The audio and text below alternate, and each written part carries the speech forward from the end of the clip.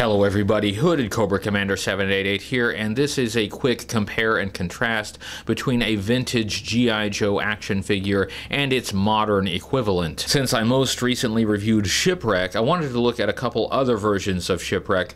We have version 1 from 1985, and we have version 19 from 2015. This version 19 was from the 50th anniversary set. One special thing about this modern Shipwreck action figure. I won it in a drawing from the YouTube channel Comic Tropes. Uh, Chris Piers from that channel has become a good friend of this channel, and I've come to appreciate his insight and advice. Let's start with a quick overview of version 1 of Shipwreck from 1985. This is the version of Shipwreck that most G.I. Joe fans would be familiar with. This is how he looked in the Sunbow animated series, and this is how he looked in most of his appearances in the G.I. Joe comic book series. Uh, it's the classic Navy sailor look uh, with his Dixie Cup hat, uh, his brown beard, uh, his overall blue uniform. Uh, he has his rank insignia on his shoulder, and he has a tattoo on his forearm. Um, as far as accessories, he comes with his percussion pistol uh, that has a little loop that can go around his wrist. Uh, he has his boarding hooks with the black string. I'm not a big fan of this accessory, but you can wind that string around the hook uh, that is on Shipwreck's left hip. Again, this is not my favorite accessory. Uh, most of the time I have this wrapped around the body of the action figure because it can fall off of that hook really easily. And then most importantly, we have his parrot, the green and yellow parrot named Polly, which has feet that can clip onto his wrist. The original Shipwreck action figure did not come with a figure stand. I'm just using a generic figure stand for this one. And uh, of course, this is Shipwreck's iconic look. Uh, this is what most of us think of when we think of Shipwreck. And I do like this figure. I think it's appropriate for a Navy sailor. Although this is Shipwreck's iconic look, it is not his only look, as we saw with the review of Shipwreck version 2, where he was wearing a diving suit. This modern version 1950th anniversary Shipwreck figure uh, gives us an alternative interpretation of Shipwreck uh, it's not the only shipwreck action figure that has this general overall look, uh, but it is nice to see this different take on the classic shipwreck figure. This modern 50th anniversary shipwreck came in a two-pack packaged with Cobra Commander. This modern shipwreck action figure has more accessories than he can carry, uh, but let's take a look at those accessories uh, starting with his parrot. Uh, he does have an updated version of Polly. Uh, instead of the the parrot at rest. Uh, we now have the parrot with his wings out, and you can uh, pretend that the parrot is flying with his wings out like this. Uh, so that's not a bad update. Uh, he also has some additional paint applications with a, a, few more colors. He has some purple on his head. Uh, he has a little bit of a white paint wash on his wings. Uh, he has yellow feet. Uh, so this is not a bad update of Polly, uh, not a bad update of the parrot. I do have a little bit of a problem with it though. The feet on this parrot are very small, so it's difficult to clip him onto anything. I have him clipped to this loop on Shipwreck's vest. I don't know that that's where it's supposed to go. The feet are a flexible plastic and the vest is also a flexible plastic, which actually makes it difficult to get the feet clipped onto that loop.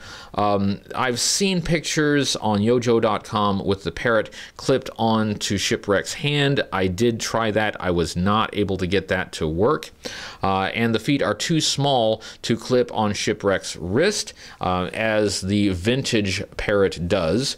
So Polly only really has uh, a few places where he can clip onto Shipwreck. What I would like to see, and what neither the vintage nor the modern figure have, uh, is a Polly that can clip on Shipwreck's shoulder. Uh, that's what I'd like to see. I want the Parrot to be on Shipwreck's shoulder rather than on his vest or on his wrist. I just think that's where the parrot should be. Here are the two versions of Polly side by side.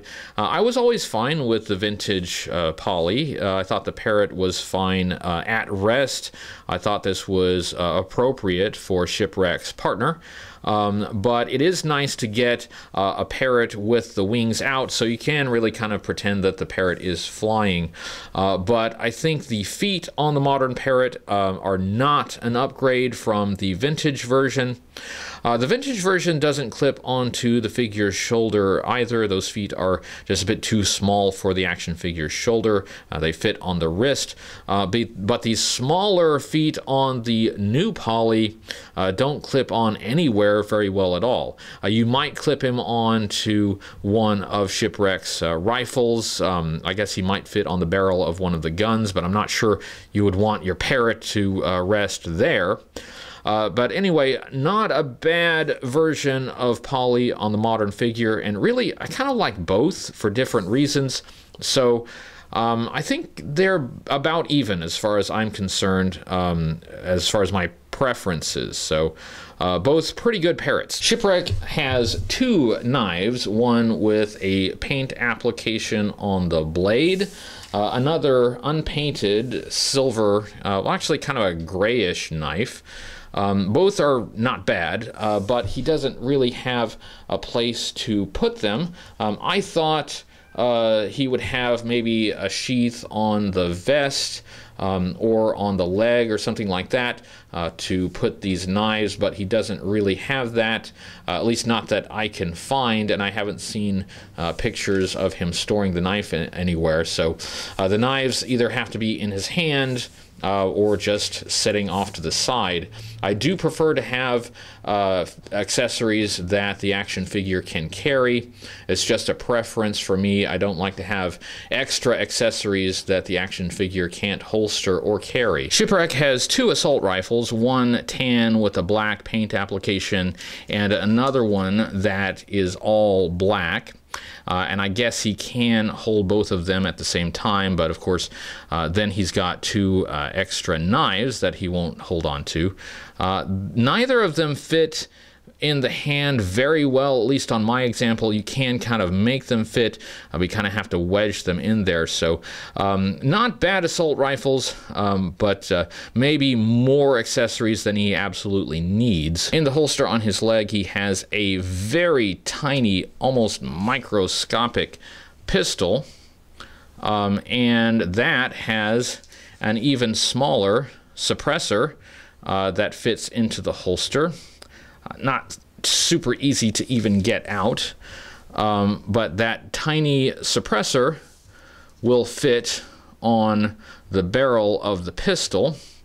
Um, that is really small. That's a tiny accessory. I guess it's nice that it's removable from the holster rather than just uh, sculpted in uh, but maybe a little too small. The pistol will fit in Shipwreck's hand, but it does seem a bit undersized. Like most modern figures, this Shipwreck figure came with a figure stand with his name on it, and since this is a 50th anniversary figure, it has G.I. Joe in gold letters on the top. The modern figure replaces Shipwreck's Donald Duck hat with a black beanie, but he has his brown beard. It does look like Shipwreck. It's a nice look. I do like it. Uh, he has this black tactical vest with a loop here on the back. I will remove this vest in a moment because I want you to see what's under the vest.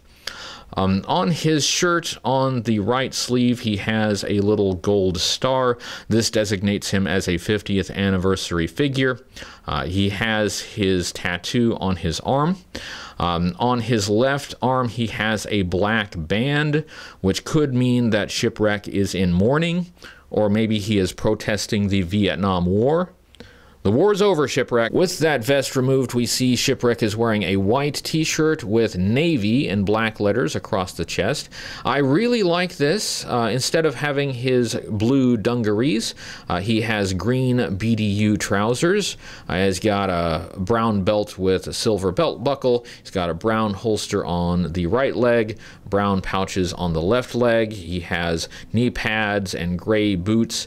And I like this. Uh, this is a nice up update to Shipwreck. Um, it's not the same as the classic uh, blue navy uniform look, uh, but it's it's not bad. It's recognizable as Shipwreck, um, but it's updated with a bit more detail and to make him uh, maybe a bit more battle ready. As you may know if you've watched earlier videos, I am not as enamored with modern articulation and sculpting as a lot of modern G.I. Joe collectors are.